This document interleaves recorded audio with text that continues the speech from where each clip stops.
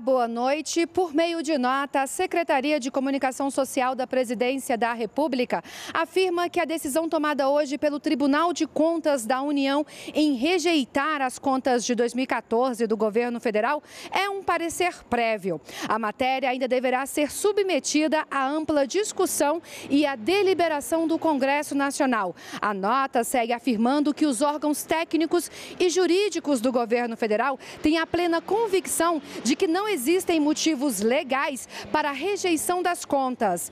Além disso, entendem ser indevida a pretensão de penalização de ações administrativas que visaram a manutenção de programas sociais fundamentais para o povo brasileiro, tais como Bolsa Família e o Minha Casa Minha Vida. Também entendem não ser correto considerar como ilícitas ações administrativas realizadas em consonância com o que era julgado à época adequado pelo Tribunal de Contas da União. A nota segue afirmando que os órgãos técnicos e jurídicos do Executivo continuarão a debater com absoluta transparência as questões tratadas no parecer prévio do Tribunal de Contas para demonstração da absoluta legalidade das contas apresentadas.